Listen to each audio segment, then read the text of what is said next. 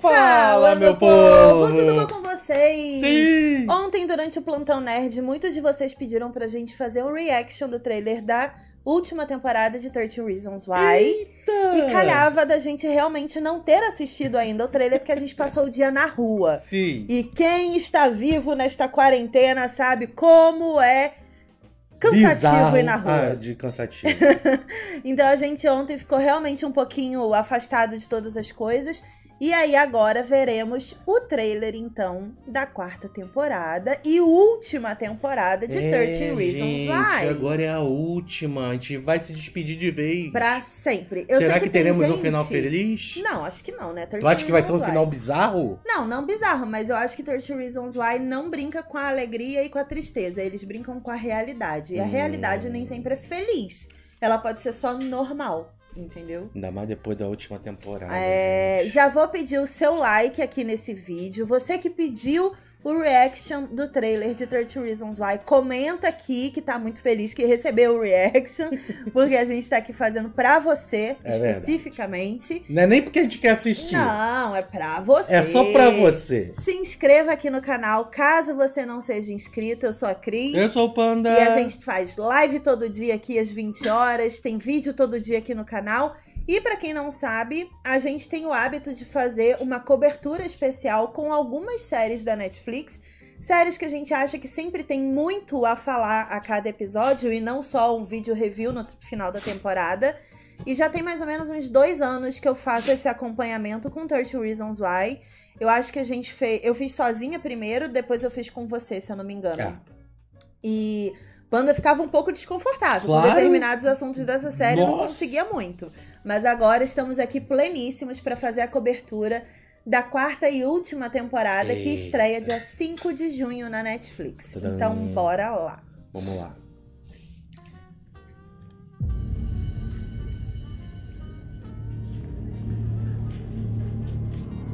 Don't freak out.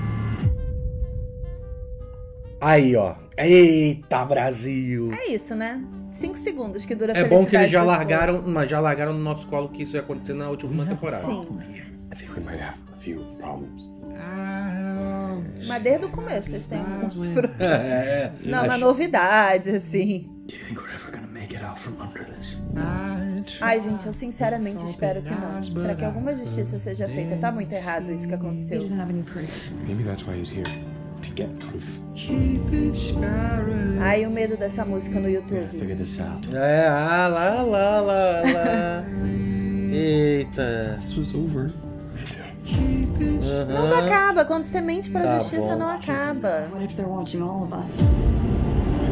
Então, a gente já sabe quem tá vigiando, Ah, né? É. começa o Clay a ver pessoas que morreram. Mais uma I vez. see dead people, né, cara? Eita, Clay. and I don't yet know what for. Aham. Suspect it might be for secrets you keep. Ai, gente, coitado desse menino, sabe? Tá psicótico At some point, isn't it like enough is enough?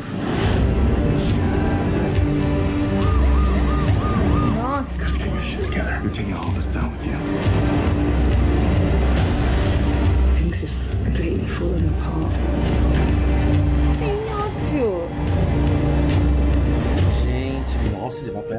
Keeping secrets. Viu ele quebrando as câmeras Ah, ele tá escola? fazendo terapia. Até que enfim. Já devia estar o fazendo desde a Bryce. primeira. Nossa, Nossa. nossa senhora. Isso que era na cara dele. Are you ready to let those secrets out? Ai, tomara, né, gente? Tomara. Ai, que bom. Sabe uma parada, assim, que eu vejo muito? Eu vi é, alguns comentários no Twitter ontem, pessoas postando assim, meu Deus, o Clay enlouqueceu.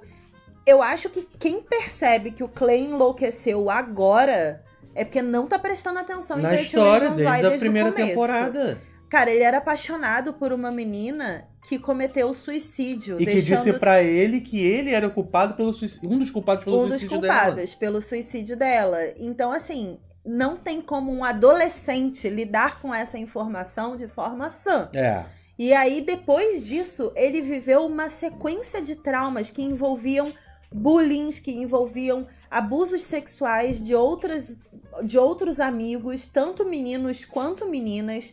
Eles sofreram bullying de apanhar, eles sofreram bullying psicológico, eles foram assustadoramente oprimidos, vários desses adolescentes aí.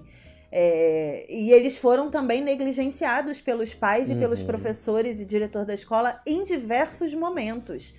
Então, assim, eu acho que agora ele tá tendo alucinação com o Monte, ele sempre teve com a Hannah. Ele é um Bryce. menino com o Bryce, ele é um menino que realmente desenvolve. E desde o início, tá? Os pais dele já diziam que ele tomava remédio, ele tinha realmente algumas condições é, de ansiedade, algumas coisas assim, sabe? Uhum. Então, acho super de acordo esse trailer com o Clay, É. com o que ele viveu até hoje, né? Não. É bem complicado. Eu acho que a partir do momento que ele fizer terapia, ele vai se libertar desses segredos, né? Porque o, É. o, o que trava realmente ele são, é viver num mundo de segredos, um mundo de crimes, e ele vai É. cada vez se afundando mais. E tem salvação, tem escolha ainda, tipo. Ele vai novamente fazer a mesma coisa? Ele vai fazer mais segredos? Ele vai Ah. tentar encobrir, encobrir? Eu sei que tem muita gente que acha que 30 Reasons Why deveria ter terminado lá na primeira temporada, que foi efetivamente a adaptação do livro, mas eu acho que de certa forma essa série ela presta quase que um serviço social quando ela mostra para os pais mesmo, de um modo geral, que não é correto você negligenciar emoções diferentes dos seus Sim. filhos. Nossa, mas a cachorra decidiu espirrar durante o vídeo mesmo, né? Aí, É. deu um ataque de rinite na cachorra. Enfim, É. a gente que lute. É, mas eu acho que os pais precisam entender que os filhos passam por emoções fortíssimas o tempo inteiro, seja na escola, seja com os amigos, numa natação, num curso de inglês. Seu filho pode estar sendo oprimido, ele pode estar sendo abusado psicologicamente. Ah, E esse abuso pode crescer e virar outros tipos de abuso.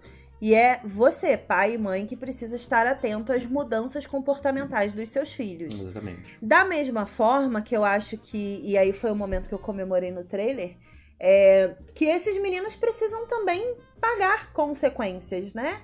Do que eles fizeram, de coisas que eles decidiram fazer É, juntos. não é Riverdale. Riverdale todo mundo sai impune dos crimes que Não, comete. não é. 30 Cometeu Reasons crime, Why. você vai lá e vai pagar pelo Exato. crime, porque a sociedade funciona assim. Eu Essa é a forma justo. correta. E, cara, é correto até pra eles, porque eles estão se ferrando psicologicamente, Sim. todos eles. Essa parada de um proteger o outro como se fosse uma É micro-sociedade. bizarro, assim. Cara, não são super-heróis. É. Não são. Eu acho que E, e, cara, e é complicado porque eles cometeram crimes, É. sabe? Eles incriminaram uma pessoa e É. essa pessoa foi presa. é morta. E, sabe, assim, isso é um crime Aham. Bizarro. Isso não é uma coisa que você deve ficar tipo, ai, vamos passar pano pro Clay, pros amigos dele. É, não. não que o. Não dá. Como é é o nome dele? De quem? Montgomery. Ah. Não que o Montgomery ele seja um. Um santo, um né? santo. Ele Ninguém era ali um é. dos 13. É. Ninguém ali é santo. Hum. Mas eu acho que também é uma forma da série mostrar que toda ação gera uma reação. É.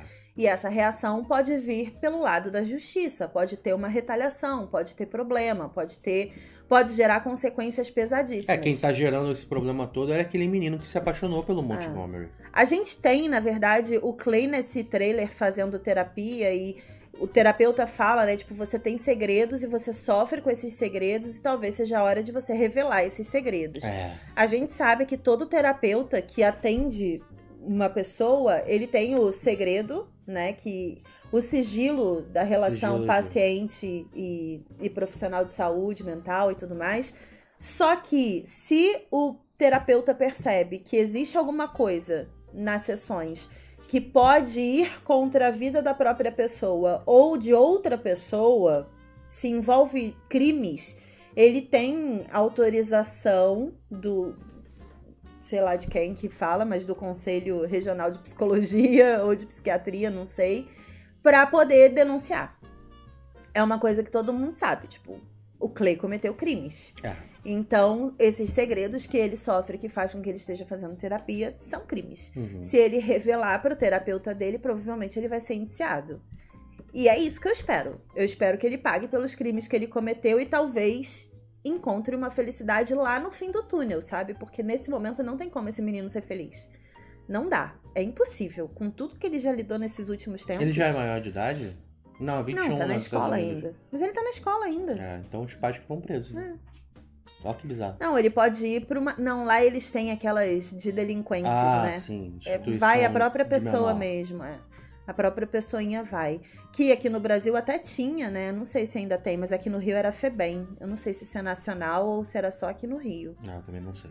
Mas é complicado, cara. Mas eu entendo a galera que já se afastou de 13 Reasons Why e fala: nossa, não, a realidade é muito dura pra eu ainda ficar vendo Aham. 13 Reasons Why. Aham. Eu entendo. Só que eu realmente zelo pelos ensinamentos. Eu realmente zelo para que, se uma pessoa não tem acesso à informação, o entretenimento ele supre, Uhum. sabe? E eu acho que talvez 13 Reasons Why tenha errado em alguns momentos, até no posicionamento de como mostrar determinadas coisas que não precisavam e tudo mais. Teve um exagero ali de. quase caricata, quase teatral, né? De mostrar algumas coisas acontecendo. Mas, no fim das contas, eu acho que há males que vem para o bem e todo mundo aprendeu muito com a série até agora.